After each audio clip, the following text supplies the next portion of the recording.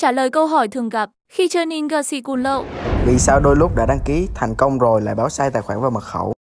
Ok, thì mình xin nói luôn là cái vụ mà khi mà anh em đã đăng ký thành công rồi mà nó lại báo sai tài khoản mật khẩu á, thì có thể đầu tiên là cái vấn đề mà anh em viết hoa chữ cái đầu tiên đó, viết hoa chữ cái đầu á, là anh em hãy xem xét nó thứ hai là anh em xem kỹ cái server có phải là đúng cái server mình đăng ký hay không đây là một cái vấn đề mấu chốt là coi anh em có thể vô á.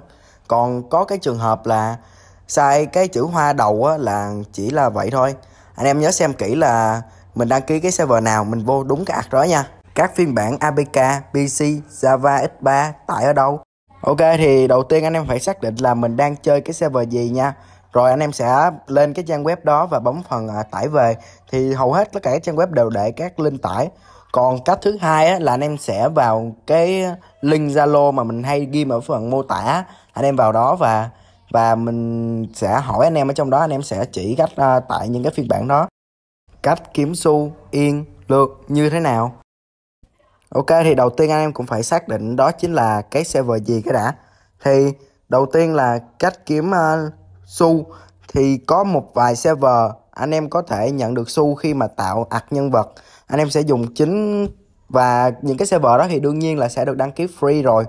Anh em sẽ lấy cái à, xu mà anh em tạo từ ạc clone chuyển vào ạc chính của anh em. Đó là một cách. À, còn thứ hai là anh em sẽ tự cày cuốc và kiếm đồ đem đi bán. Ngoài ra thì anh em có thể nhập code nữa. Đấy.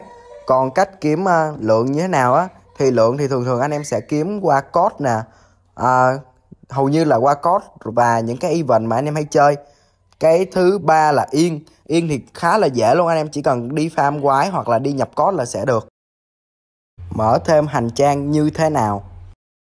Thì cái phần mở thêm hành trang thì rất là đơn giản luôn. Anh em cũng sẽ phải xác định cái server anh em chơi nó có những cái tính năng gì. Nếu mà không có những cái tính năng mà tự mở thêm á thì anh em chỉ cần vào Goso anh em mua những cái túi vải cấp 2, cấp 3, cấp 4 nếu có thì sẽ có cấp 5 luôn. À, còn tiếp theo á thì anh em phải để ý xem coi những con NPC á nó có một cái chức năng là mở rộng hành trang hay không. Nếu mà có anh em sẽ phải tốn một chút lượng vào đó và anh em sẽ được mở rộng hành trang. Ok thì chắc là cái clip của chúng ta đến đây là kết thúc rồi. Và nếu anh em muốn đặt thêm những cái câu hỏi để mình trả lời á thì anh em có thể vào cái nhóm zalo mình sẽ ghi nhận những cái câu hỏi ở đó hoặc là anh em có thể comment ở dưới cái phần mô tả à đâu, phần comment ở phần video nè.